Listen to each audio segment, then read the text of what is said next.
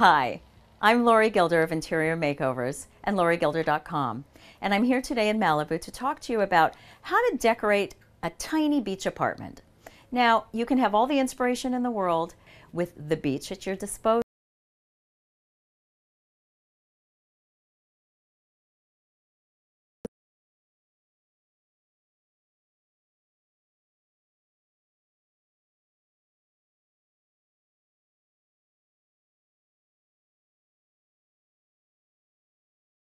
To a minimum. Use slip covers and change them out during the course of the seasons. Utilize glass lamps that create some sparkle, some mirror that reflect the surfaces of the sea beyond or the light that's blazing into your into your living room.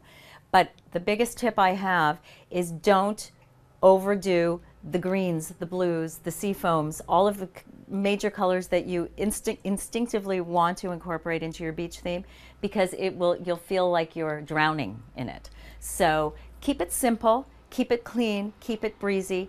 Add some sheer window coverings to your patio doors and let them billow in the breeze.